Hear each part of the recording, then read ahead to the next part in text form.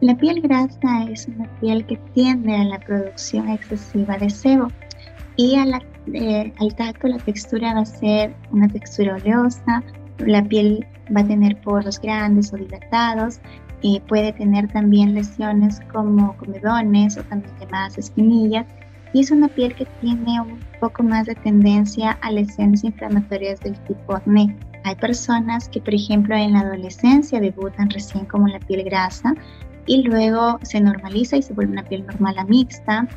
Lo que pasa es que cada persona tiene una predisposición genética a tener el tipo de piel ya predispuesta.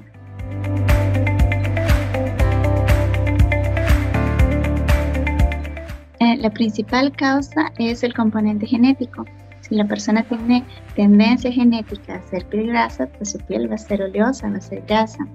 Sin embargo, en la adolescencia hay una hiperactividad de todas las glándulas del cuerpo, en especial y se manifiesta en la cara a través de las glándulas sebáceas. También existen otros factores que tienen que ver ya más con el cuidado de la piel. Por ejemplo, la falta de hidratación aún de una piel con tendencia a grasa puede ser eh, que se, se, estimule o que se hiperproduzca exceso de sebo para tratar de compensar esta falta de hidratación.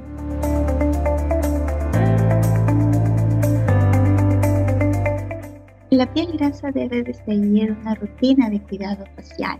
Primero tiene que utilizar productos de limpieza que no sean comedogénicos. Número dos, tiene que hacerse el aseo mínimo dos veces al día. Se recomienda en la mañana y en la noche. Tiene que utilizar su exfoliante siquiera unas dos veces a la semana con una exfoliación suave. Siempre recordar que estas pieles también se tienen que hidratar, pero que sus hidratantes que sean libres de grasas y óleos.